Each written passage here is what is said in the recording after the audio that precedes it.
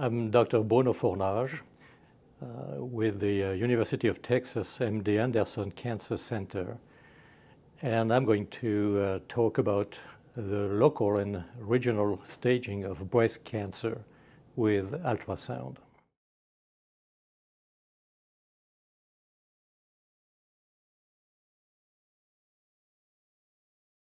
Uh, this uh, presentation is about uh, the use of ultrasound to um, achieve the local and regional staging of patients with breast cancer. The uh, staging of breast cancer includes the local staging as well as the regional staging. Let's start with the local staging of newly diagnosed breast cancer. The first thing to uh, check is the size of the tumor, which is going to determine the T of the TNM classification.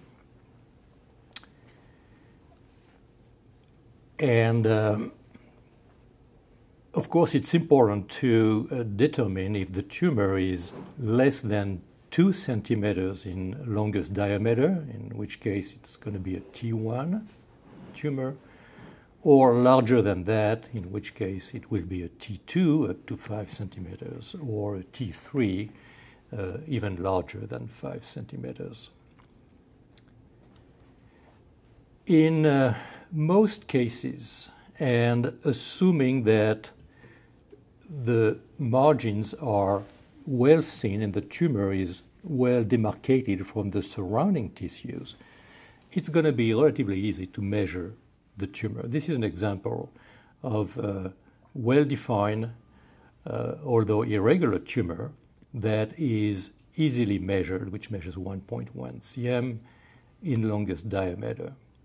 That's another one which is even smaller, but still very easy to measure. And even this one, which is still in the range of one centimeter in diameter, is very uh, easy to uh, measure. Now, when we deal with this type of uh, tumor, which is poorly defined, uh, then the measurements are uh, more difficult to obtain.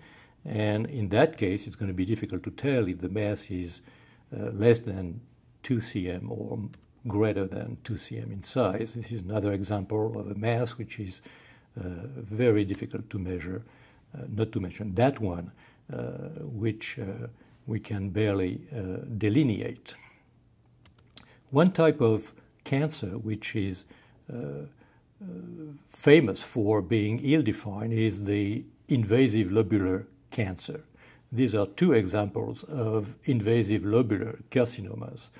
And uh, these tumors appear typically as areas of uh, shadowing due to their high content of fibrosis and, and limited uh, cellularity.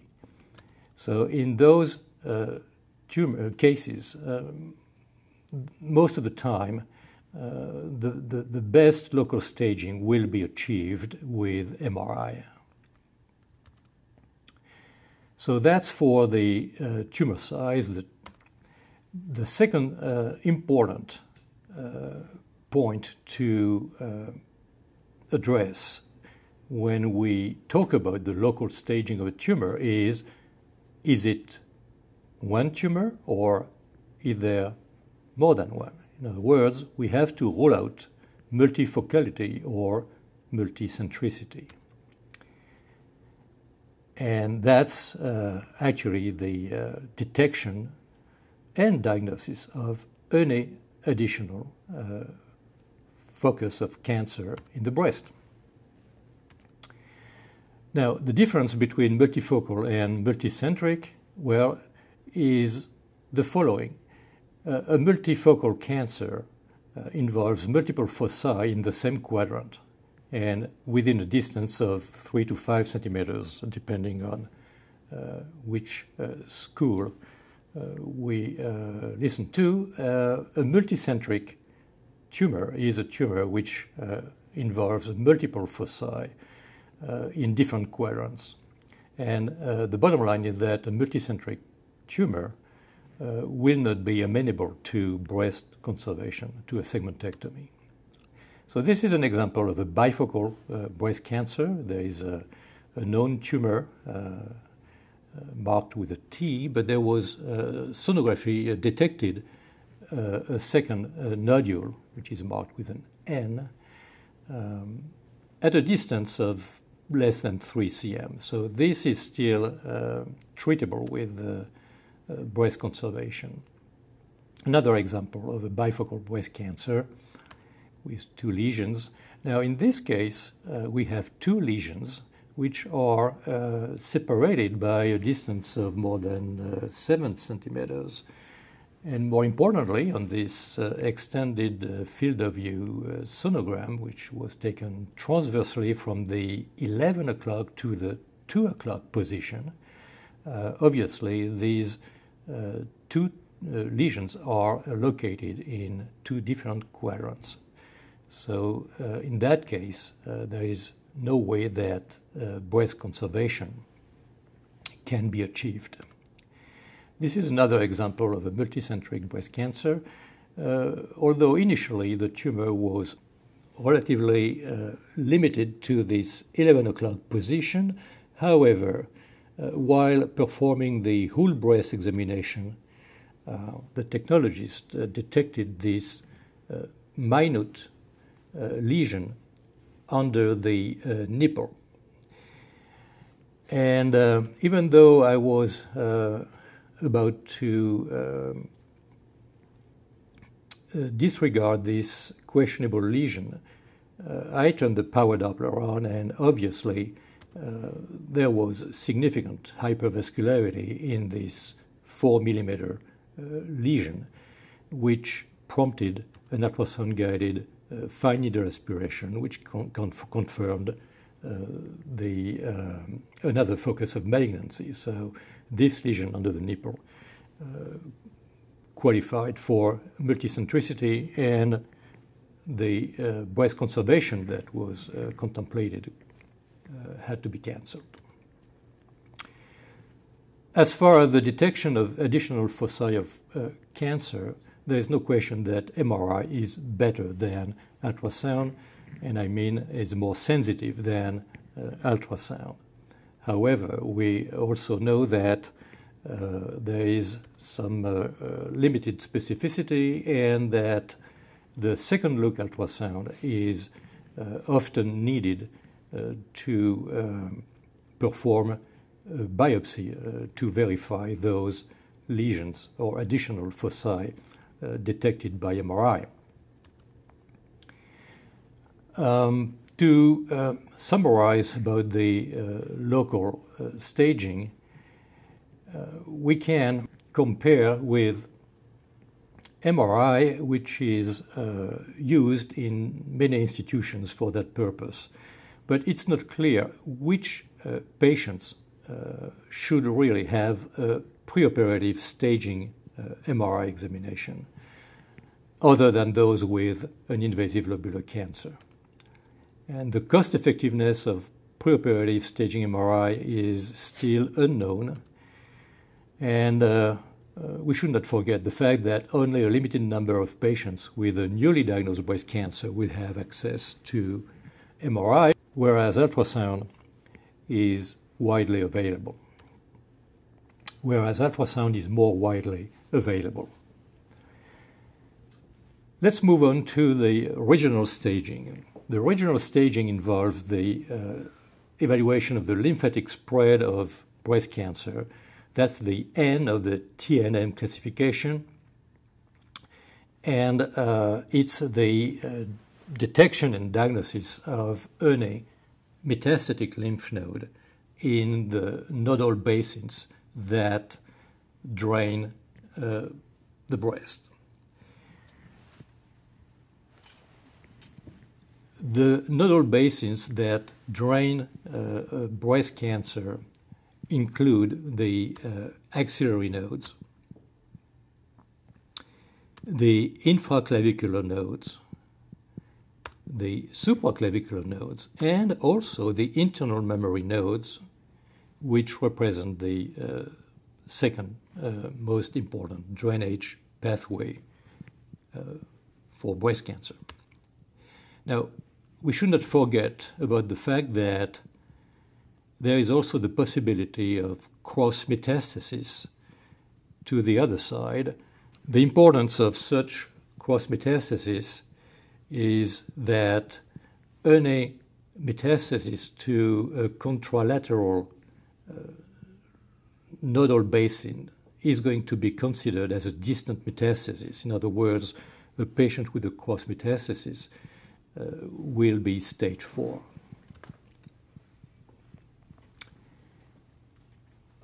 So even though we, uh, we have seen that MRI is better than ultrasound for the uh, extent of uh, disease in the breast, there is no question that ultrasound in experienced hands is better than MRI for the evaluation of the lymphatic spread because you can evaluate rapidly more nodal basins than MRI can, and more importantly, it's possible within minutes to confirm metastatic disease with an ultrasound guided fine needle aspiration of any suspicious node.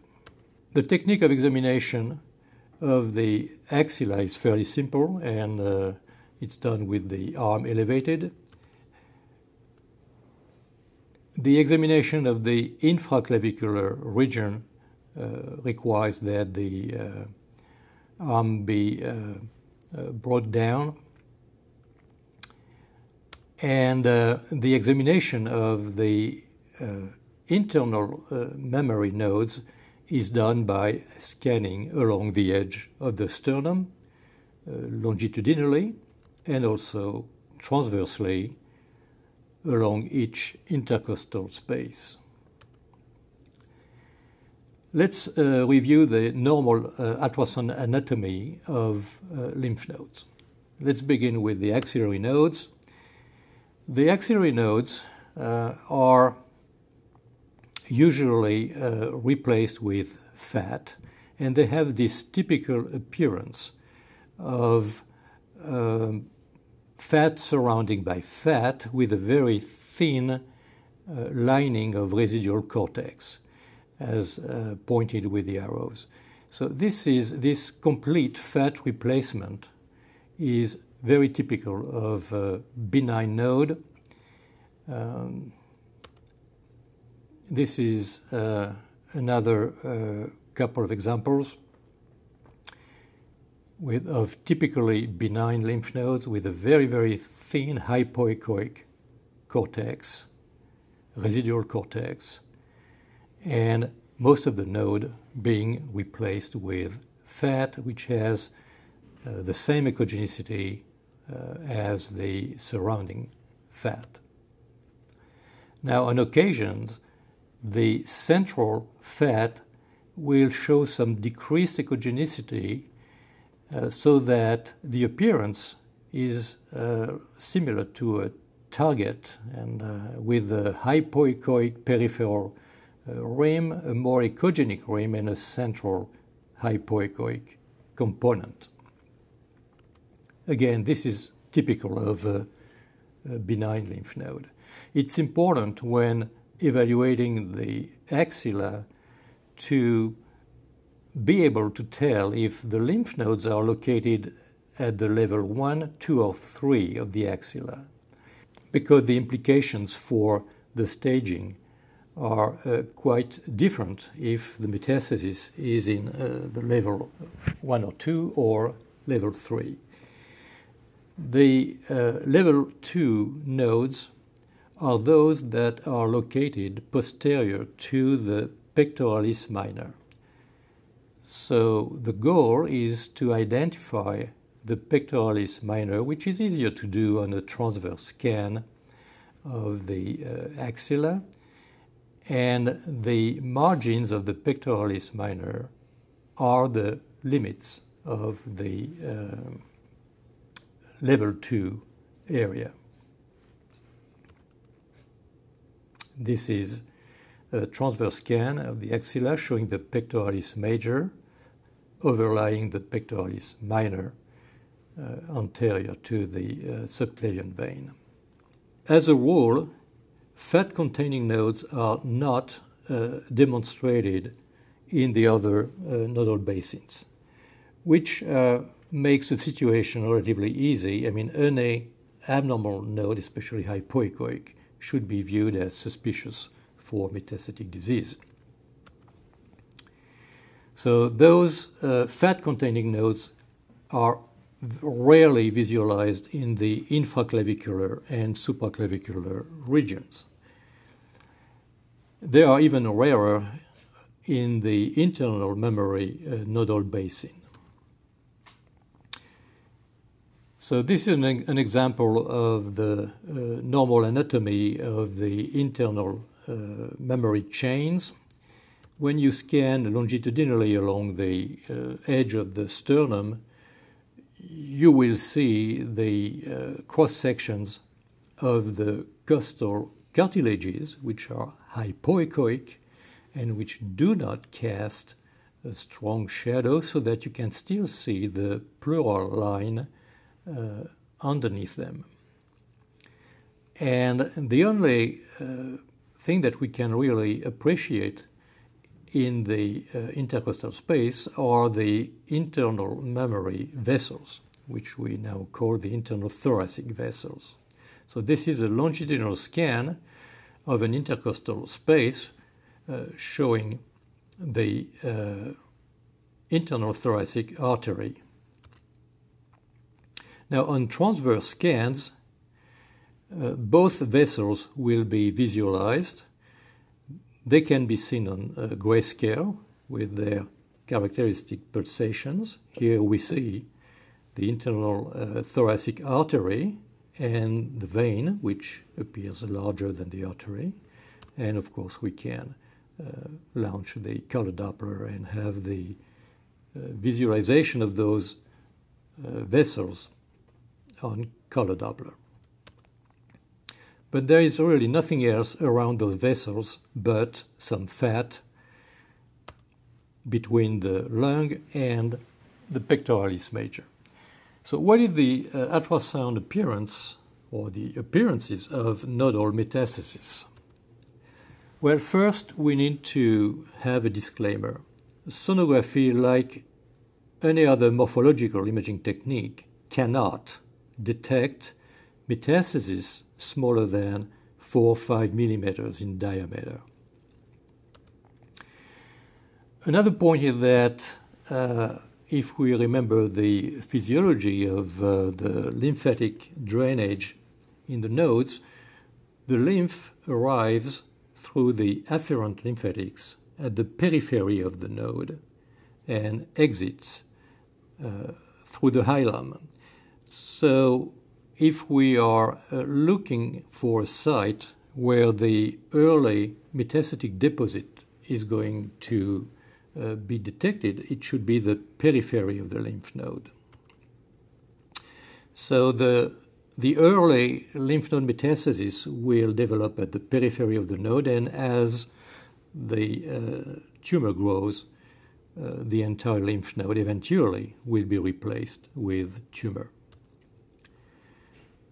What are the sonographic criteria for nodal metastasis? Well, a number of indices have been tried and obviously uh, do not work well, and those measurements uh, are not uh, used, at least in our practice.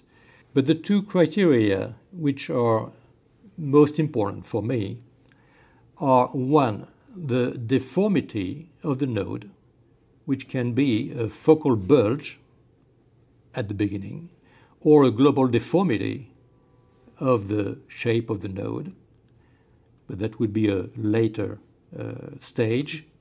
And also, very important, the progressive replacement of the fat by uh, markedly hypoechoic uh, material. The tumor is markedly hypoechoic in, in the node.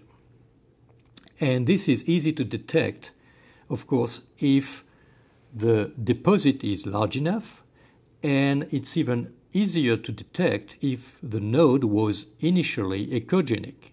This is uh, another example of a focal uh, deposit, uh, relatively small. And this is probably in the range of uh, uh, 1 cm uh, by 3 or 4 millimeter in thickness, which is markedly hypoechoic in an otherwise echogenic lymph node. Now, as the metastasis grows, it's going to occupy a larger and larger volume. These are another two examples, with one here uh, which uh, has replaced half of the node. This is another example of an otherwise totally echogenic node, except for this uh, metastasis. And these are examples of uh, small lymph nodes which are totally replaced by tumor. So please note how uh, hypoechoic the tumor deposits are. Microcalcifications in a lymph node are uh, virtually pathognomonic for metastatic disease, especially if the primary tumor uh, contains such microcalcifications. So this is an example of a myriad of microcalcifications in a metastatic node in the axilla. So let's move on to the uh, infraclavicular nodes, which are the level 3 axillary nodes. These nodes have an adverse prognostic significance since uh, their presence uh, means uh, that the patient is stage 3C. This is an example of a scan of the infraclavicular region. It's a longitudinal scan. We can see the uh, shadow from the clavicle, and there is this lymph node which is located right anterior to the sub- subclavian vein. The, the internal mammary nodes appear as hypoechoic masses that are located adjacent to the internal thoracic vessels, and they will appear as oval masses on longitudinal scans and rounded masses on transverse scans. You remember that the normal uh, lymph nodes are too small to be seen in that uh, nodal basin, and that basically any hypoechoic mass in that region uh, is a metastasis until proven otherwise. So this is a scan of a normal uh, internal mammary uh, chain showing nothing but the cartilages and the internal thoracic vessels. But this is a longitudinal scan of an intercostal space showing a hypoechoic mass which has uh, really nothing to do here, and which is, again, lymph node metastasis. The internal mammary uh, metastases are frequently found lateral to the vessels, but they can be found uh, between the vessels and even medial to the internal thoracic vessels.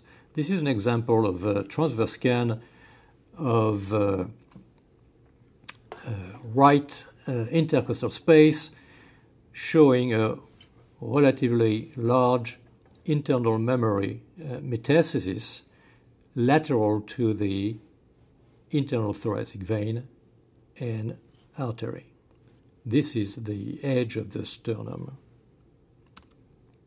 Another example on the right side showing a smaller lymph node metastasis adjacent, lateral to the internal thoracic vessels, vein, and artery.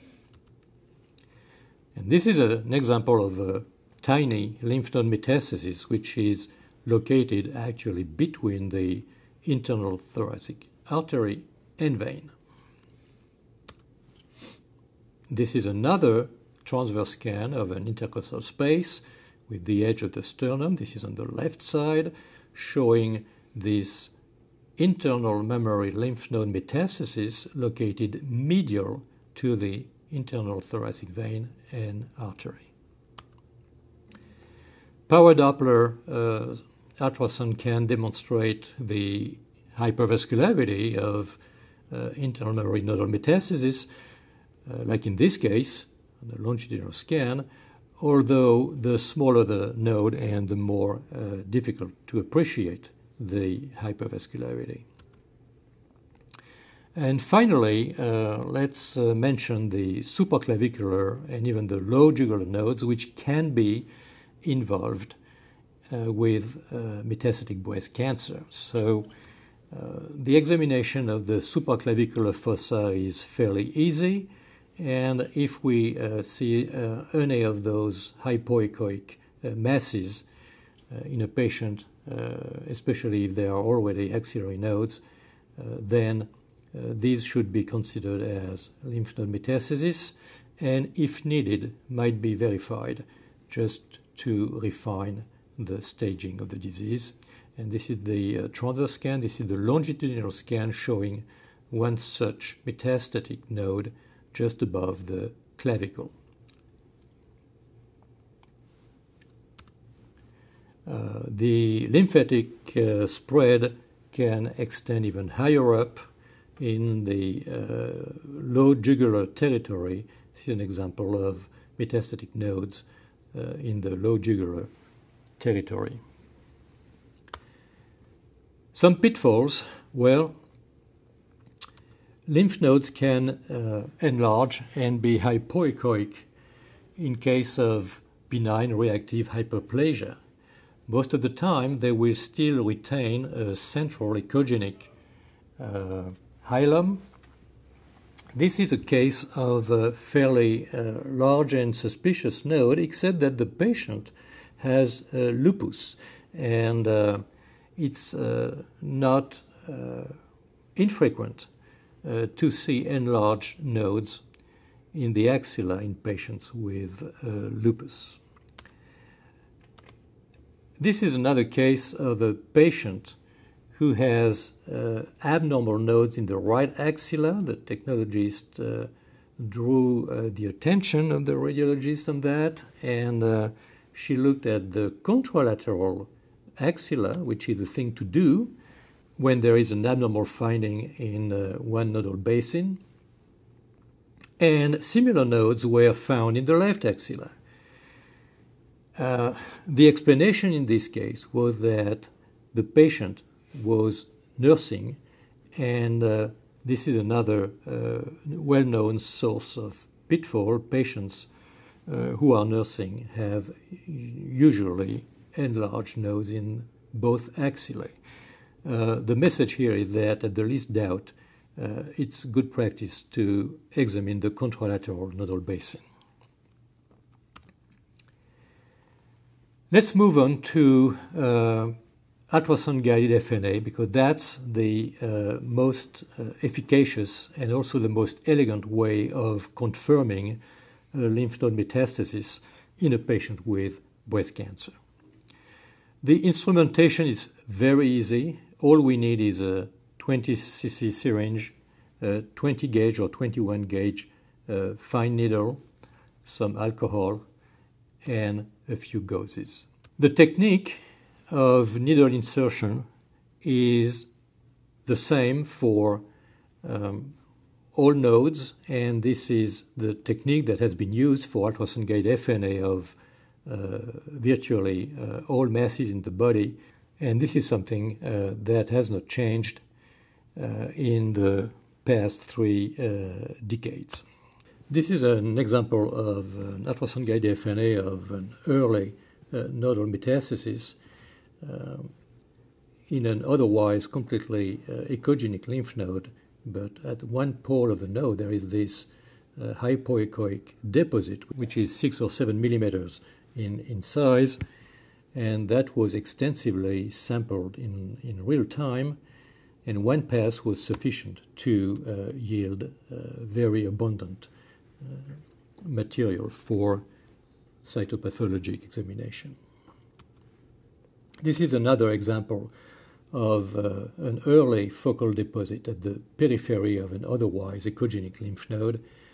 Again, the sampling is extremely accurate and takes uh, no more than 20 or 30 seconds, and one single pass with a 20 gauge needle is usually enough to obtain a sufficient material to confirm the metastatic nature of this deposit.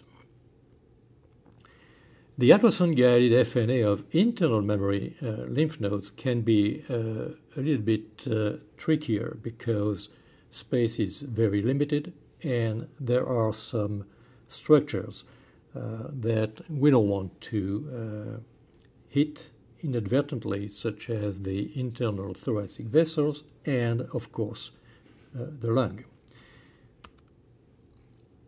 This is an diagram showing the technique of uh, ultrasound guided FNA of an internal mammary lymph node metastasis. Of course, this is done uh, on a transverse scan since the approach is going to be from lateral to medial.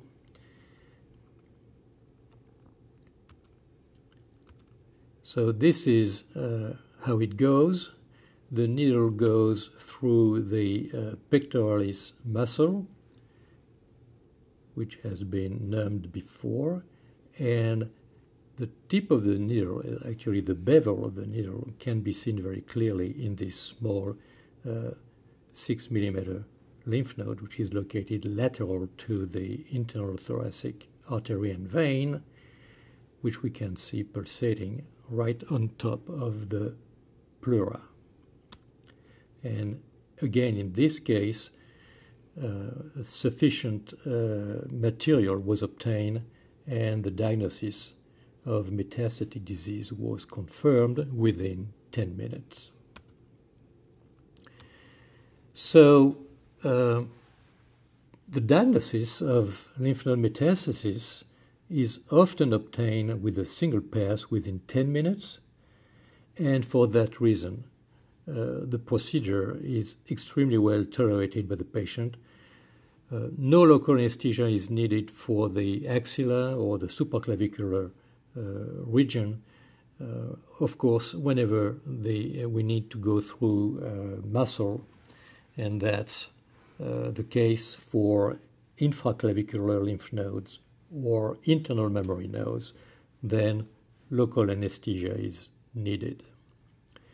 The complications of ultrasound guided FNA of lymph nodes are uh, the same as uh, the uh, generic complications of NA ultrasound guided FNA, that's pain, bleeding, infection. In the case of internal mammary nodes, of course, we should add the risk of pneumothorax to the list. Among the advantages of fine aspiration is the fact that uh, it is definitely less uh, traumatic than a core biopsy, and the risk of uh, developing a hematoma is uh, far less than with core biopsy. This is an example of a huge hematoma uh, that uh, developed after core biopsy of a lymph node performed at an outside uh, facility. Uh, and we had to drain a large amount of blood uh, because of the excruciating pain uh, suffered by the patient.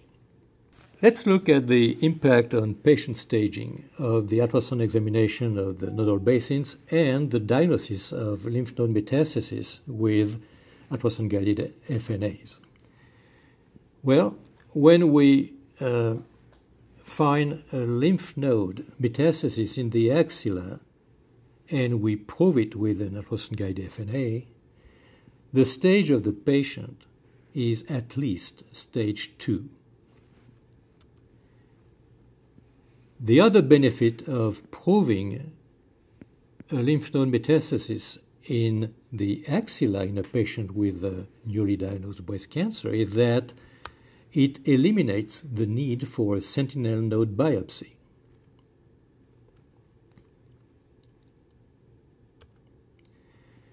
Finding uh, a lymph node metastasis in the internal mammary chains means that the patient is at least stage 3.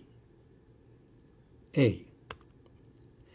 If we find a combination of internal mammary metastasis and axillary lymph node metastasis, the patient is stage 3C.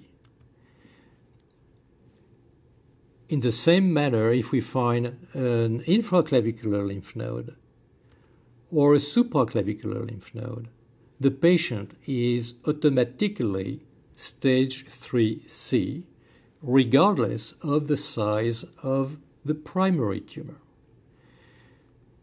So, again, to summarize, if we find a lymph node metastasis in the axilla, the patient is at least stage 2 if we find a lymph node in the internal mammary uh, chains in the infraclavicular region or supraclavicular region, the patient is at least stage 3.